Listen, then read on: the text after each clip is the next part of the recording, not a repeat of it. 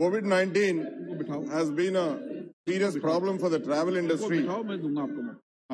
I'm very thankful to the government for having the air bubbles connectivity between countries. But I would like to alert the government to now be sensitive to revive our tourism industry. I'm hoping the government can be, you know, set a first mover advantage for our country in opening as many connections as possible world over. For last two years, travel hungry people have been sitting at home. They are waiting to get out and visit countries. So I hope our country is fully prepared for that, number one. And two, there are several first time travelers coming out of, you know, as they age, coming outside their country every year. For last two years, none of them have been able to visit or travel abroad. So they are eagerly waiting to make their first trip. I was hoping our government can do some kind of COVID related insurance, which is free, which so they are welcome to the country and feel secure. And we have the first mover advantage and we are encouraging this entire population of first time travelers.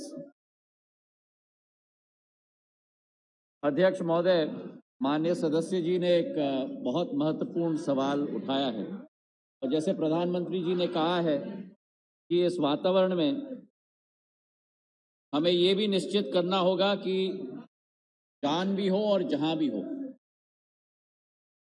जो Covid का वातावरण हुआ था, अध्यक्ष महोदय, उसमें विश्व भर में आवागमन की सुविधाएँ नागर विमानन क्षेत्र पे बंद की गई थी 23 मार्च 2020 को।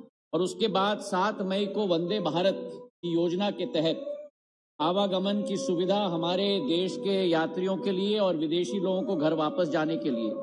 सुविधा शुरू की गई और मुझे खुशी है इस सदन को ये सूचना देते हुए कि आज तक करीब एक करोड़ तिरासी लाख लोग इस सुविधा के आधार पर अपने घर वापस आए हैं और भारत से वापस अपने घर वापस जा पाए हमारी कोशिश सदैव रही है कि इसे धीरे धीरे करके हम लोग नॉर्मलाइज करें। पर जैसे आपको भी सूचना है कि पिछले कई दिनों में ये ओमिकॉर्न जो वेरिएंट आया है कोविड का, इसके आधार पर दोबारा पूरा विश्व सचेत हो चुका है। डब्ल्यूएचओ और बाकी एजेंसीज ने भी कहा है कि सचेतता हमें रखनी होगी।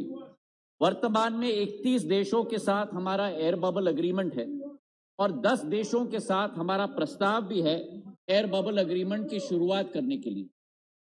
जिन 31 देशों के साथ हमारा एयर बबल अग्रीमेंट है, उन 31 देशों में, कई देशों में हमने वृद्धि भी लाई है। उदाहरण के तौर पर यूनाइटेड किंगडम हो, अमेरिका के साथ आवागमन की सुविधा शुरू हुई है, जो नवंबर तक बंद हुई थी।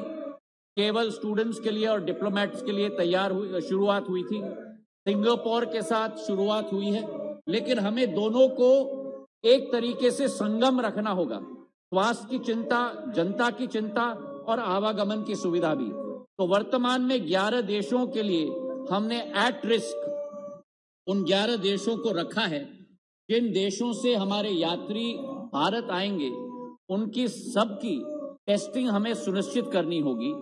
वो 11 देश हैं, यूरोप के सारे कंट्रीज़ यूनाइटेड किंगडम समेत South Africa Brazil Botswana China Mauritius New Zealand Zimbabwe, Singapore, Hong Kong और इसराइल कल से ये प्रक्रिया शुरू हुई है, जैसे आपको विदित है, और टेस्ट करके सारे यात्री आराम से अब अपना जीवन यापन देश में कर पा रहे हैं। पंद्रह दिन की सीमा हमने रखी है। उनको क्वारंटीन, सात दिन के लिए रखना, होम क्वारंटीन, आठवें दिन पे टेस्ट करके, उसके बाद अगले सात दिन मॉनिटर करके, फिर वे अपना आवागमन, शुरुआत उनकी हो सकती है। इसे हमें ध्यान में रखना होगा और दोनों का हमें संगम बनाना होगा। तो इनका दूसरा पार्ट था प्रश्न का कि फ़र्स्ट टाइम ट्रैवलर्स के लिए हम लोग क्या सुविधा दे सकते हैं? इस पर अभी कोई स्कीम भारत सरकार की नहीं है और आने वाले समय में जब नॉर्मलाइज होगा उसके बाद में जो आवागमन की शुरुआत होगी उसके आधार पर फ़र्स्ट टाइम ट्रैवलर्स भी ज़रूर चलेंगे मुझे इसका पूरा विश्वास। Shrimati Chinta Anuradha. Speaker sir. Tanto no